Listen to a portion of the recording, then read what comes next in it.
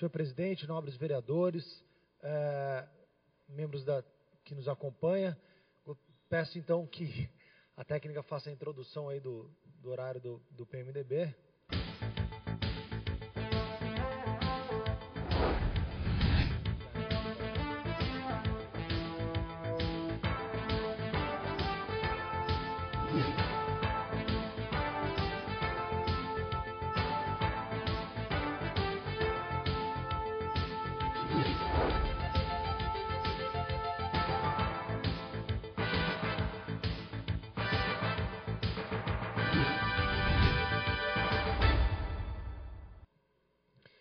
Bom, apresentando então, falo aqui em nome dos três vereadores apresentados, vereadora Ana Lino, vereador Edinho Guedes, vereador Paulinho do Esporte, que representam a bancada do PMDB aqui em Jacareí. E gostaria de pontuar, então, um trabalho que fizemos em bancada, que foi a reunião que tivemos lá na Secretaria de Governo, com a participação do secretário de Governo, Pedro Orlando, secretário de Infraestrutura, Dalton, e o diretor de Trânsito, João Sper. Acho que temos uma foto aí. Por gentileza, temos uma foto. E dessa reunião também participou é, o Adriano Silva, representando aí a comunidade é, do, lá da região da Nova Jacareí, Esperança. Participaram também é, os vereadores o Hernani Barreto é, e um assessor representante da Rosa Gaspar. E o ponto em questão foi discutir a segurança desta via. Né? Nós tivemos, acharam a foto aí da, da, da, reunião, por gentileza, se puder encontrar, acho que é interessante para ilustrar. E o ponto X da reunião foi realmente a questão da segurança. Jacareí está crescendo, essas vias de acesso da cidade cada vez mais adensando os bairros em volta dessas vias de acesso. Conforme se crescem aí, ah, temos a foto então da reunião, foi uma reunião produtiva, onde foi esclarecidos e tiramos alguns encaminhamentos.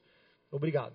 Então, dessa, dessa reunião, é, é, é, foi pontuado lá. A comunidade colocando o problema da travessia em alguns pontos, que a, a, a avenida é bem larga e muitas vezes, por falta de fiscalização ou de uma sinalização mais incisiva, é, existem muito problema de atropelamento lá.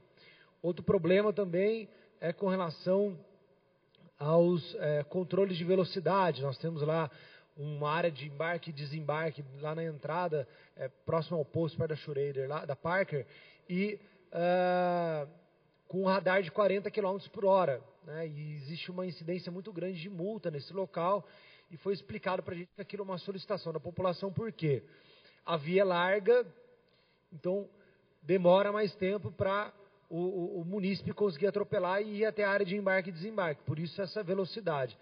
Solicitamos aí o intermédio, se pode pelo menos subir para 50 km por hora e colocar uma fiscalização um pouco mais incisiva, ou uma lombada eletrônica que mostra a velocidade, chama mais atenção do motorista, ou uma sugestão que tem sido feita na cidade de São Paulo, que é uma placa da faixa de pedestre.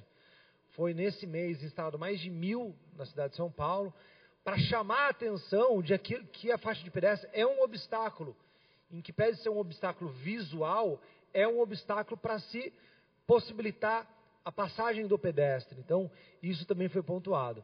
E o segundo ponto bastante importante que eu gostaria de frisar aqui, tem um projeto de lei é, é, protocolado nessa casa para, inclusive, mudar o código de posturas para que a aprovação dos novos loteamentos já contemple não só a acessibilidade, mas também a questão das ciclovias. Nós sabemos que a bicicleta é um meio de transporte mais sustentável, ele gera, além é, é, é da locomoção de quem o faz, gera a, a saúde, né? então acaba sendo até um meio de saúde, de, de, de prevenção e manutenção da boa saúde.